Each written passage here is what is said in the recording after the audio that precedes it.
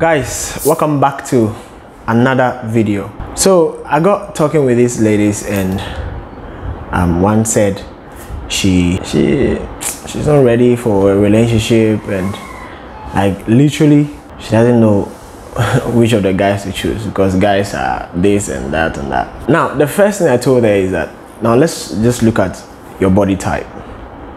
The kind of body you have alone is what will make some guys or men come after you. So if you are not careful as a woman you realize that at the end of the day you are getting men who come into your life not for anything not because they love you they want to have a future with you they want to be in a relationship with you but they are coming into your life just because of your body. Even if you look even if you are young your body may make you look like you are old so they may not even know that they are mishandling or using a small girl. Now literally you'd have to guard yourself. Guard your property. You see the sign? Property. Guard your property. Guard it with everything on the inside of you because here is three reasons why a man would, would want to let me not hide it three reasons why a man would want to have sex with you. Not because he loves you not because he wants to settle down with you but he just want to use you and go away. The first reason is this. You'll be surprised that a man wants to have sex with you because you look beautiful because you look pretty. Why is that I think about it, I don't even understand. The reason she's pretty is because she's pretty. There's nothing wrong about it. But for some man in his mind, ah, she's pretty, let me break that beauty. They will forget that once they use you, they forget that they probably might be creating or building some hurt and pain inside you. And that begins to affect your perspective and approach towards men. That's just the another thing. Secondly, a man wants to have sex with you just because you look victimized. It's not your fault to look victimized. but how does one become or how does one look victimized? It's not your fault that you look victimized. Here's just the one thing.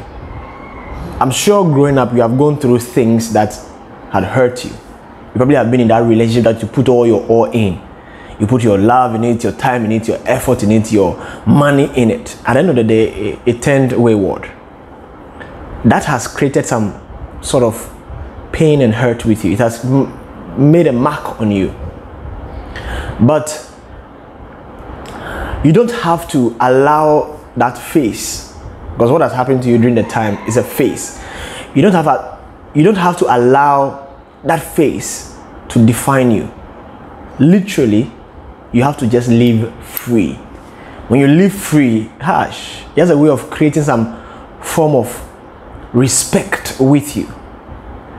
Some people will say, if I live free, then people can rather take me for granted. No, you live free means that you are aware of yourself, you know who you are, you know what you're about. As a woman, once that happens to you, the man who will come to you would think twice before he comes close to you. So take yourself out of that phase where you look victimized. Or thirdly, a man wants to just waste you, sleep with you, and go because you look innocent. Many women out there look very innocent. Even though they are grown in age, they are grown in maturity that's in, in the mind, they still look innocent. You'll be surprised. I think about it, I don't get it. The reason the person is innocent is the reason you should pardon the person or you should leave the person be or you should rather feel pity for the person. But for some guy, he doesn't care whether you are you look pretty, you look innocent, or you look victimized. He wants to break that and call it a game. That oh yeah, I was part of those who broke that that girl. These are just the three reasons a man wants to sleep with you and let you go. Man, you have to guard yourself. How you think is what creates a presence around you. How you think is what makes you talk, act, behave, and do what you do. So think right. Thanks for watching this video to the end. Tell somebody about this channel and like, comment and share. You are the best man.